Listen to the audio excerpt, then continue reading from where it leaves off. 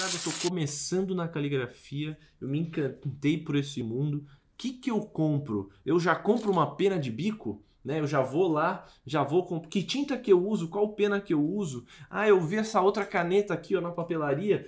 E como é que que tinta que usa? Nossa, ele é linda. Olha como ele é Alma, calma, gente. Então, se eu tivesse começando hoje na caligrafia, o que, que eu teria no meu estúdio? Gente, um lápis básico, um lápis básico e uma caneta esferográfica. Eu vou pegar aqui uma caneta esferográfica chique, que é da Bic, tá? Dourada aqui, a faísca. Mas poderia ser ó, qualquer caneta esferográfica de outra marca.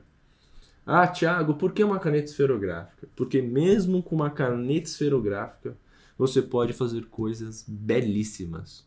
E por quê? Porque não é a ferramenta que, que escreve, é o seu conhecimento, é a sua técnica, são as suas ideias, a sua criatividade, a sua paixão, o seu entusiasmo. É isso que faz. Isso aqui é só um. É, enfim, é, o pincel. O que seria do pincel sem o pintor? Vamos lá. Primeira coisa, um lapisinho e uma canetinha, uma canetinha esferográfica é o seguinte: eu recomendo você ter uma brush penzinha também. Tiago, uma brush o quê? Uma brush pen. Brush pen é essa caneta que tem essa pontinha de feltro aqui. Eu até já posso demonstrar com ela como é que é. Mas eu valorizo você ter uma brush pen e de preferência dessa marca aqui da Cis. Por que, Thiago? Porque ela tem essa outra pontinha desse lado aqui também. Ah, Thiago, mas essa brush pen da CIS ela é mais cara.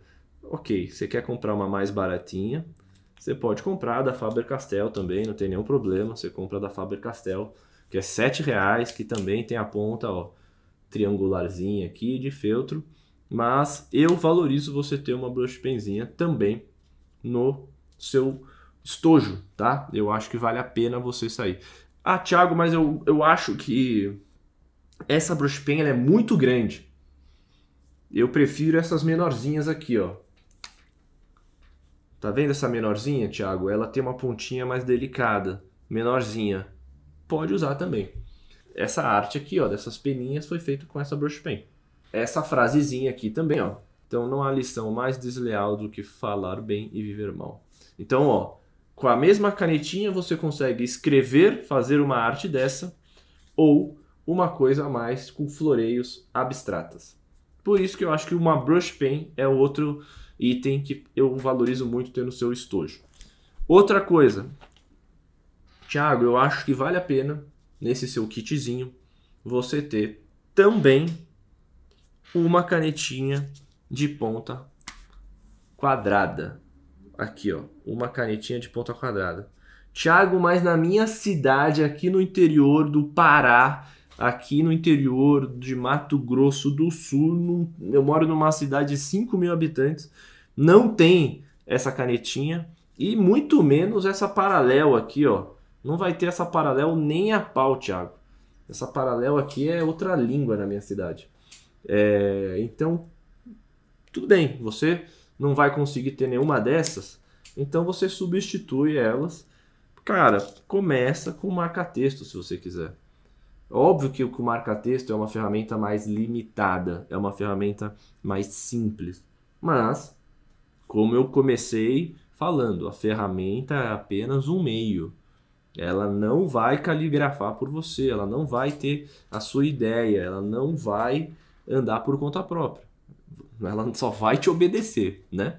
Então, se você quer começar porque você não conhece, não quer investir ainda, etc., pega uma dessa eu fiz uma live de número 100, por sinal. É, é, é uma live só de materiais baratos. Então, se você quiser, é, assiste a live de número 100. E eu descobri na live de número 100 esse marcador aqui, ó, da Carandache. A Carandache é uma marca muito boa, tá? E esse aqui eu me simpatizei, como vocês estão vendo aqui no vídeo, tá? Então, ó, se você tiver isso aqui no estojo, você já faz coisas fantásticas. Fantásticas.